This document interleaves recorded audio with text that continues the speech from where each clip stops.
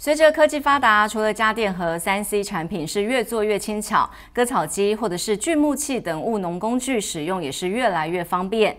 除了更轻巧之外，也从以往的汽油动力升级为电池动力，变得是更加的环保，还能够租赁分享使用。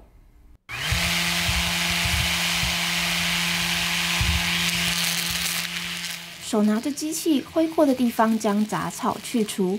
背上背着的红色包包其实是用来发电的电池，这是目前的电动割草机，用电池发电取代油箱，除了重量轻盈之外，也很环保。我们汽油式的话，其实是一体成型啊，那个马达跟油箱的话是都在一起。那背的话就会变成是侧背的，看你是背左边右边。那你背一边的话，其实背久了，像我背个八个小时的话，其实背久了腰就会酸。单边腰就会酸，看你哪背哪一边就会酸哪一边。那现在电动式的话，它现在是呃油箱就等于是换成电池。那电池的话，它现在是整颗是背在你的后背，所以它是平均背。那重力的话会比较轻，那背的话也不会说单边施力点不一样，那导致你酸痛。那所以这个电动背起来的话是会比较舒适啊。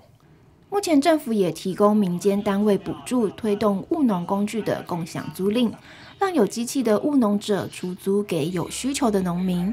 青农表示对割草机最有兴趣，未来也会考虑使用电动工具，后续将会进行进一步的相关耗材等考虑。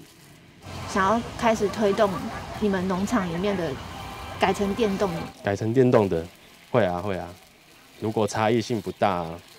价差不大，会就是会想要改用电的部分这样。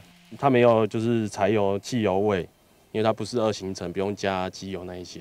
其实现在年轻人很难去接受，就是一些传统的机械，对，就像我们手机一样，你现在叫我们使用以前的那种大哥大或是手持的那种单纯的 Nokia 那一种，可能大家没办法接受啊。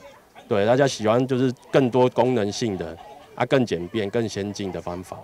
对啊，然后比较没有对人体有有就是一些异味啊，就跟加油站比较少人去打工一样，这种感觉。若有高需求，也可以再选择购买电动工具，可依需求选择购买机器或电池，或者购买机器而电池使用租借的方式，仿佛是农具版的 GoGoRo 及共享机车，也提供一个新的选择。记者沈志勇、林家珍巴黎采访报道。